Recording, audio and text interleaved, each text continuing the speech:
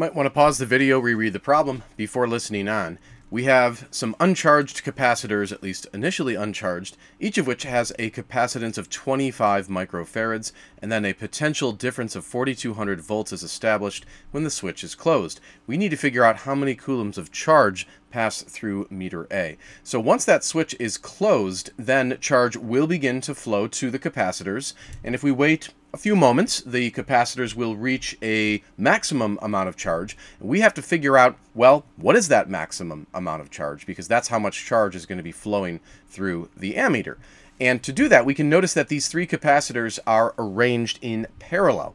And so what we can do is we can combine these three parallel capacitors into a single equivalent capacitor. And let's see how we can do that we can see from this expression here that when you have a certain number of capacitors in parallel, then you can get the equivalent capacitance by simply summing the individual capacitance values. So in this case, we have three capacitors, each of which is 25 microfarads, so we're just going to add 25 microfarads three times, or alternatively, we can multiply 3 by 25 microfarads. So if we do this, we get a capacitor whose equivalent capacitance is 75 microfarads. Now, microfarads would be times 10 to the minus minus sixth farads. So that would be our equivalent capacitance. And once you calculate that, you can actually redraw the circuit so that you would have just that single equivalent capacitor.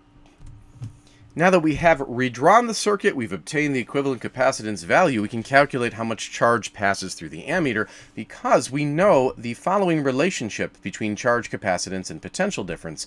It is given by this equation here. So it's very simple at this point. We just take the capacitance value of 75 times 10 to the minus 6th farads and then multiply that by the given potential difference supplied by this external potential source, which was 4200 volts. And when you multiply those two values together, you will get 0 0.26. No, hold on a second. I'm sorry. 315. I was looking at the wrong number on my calculator. So 0.315, and then the standard unit of charge would be in coulombs. So this would be the correct answer to the question.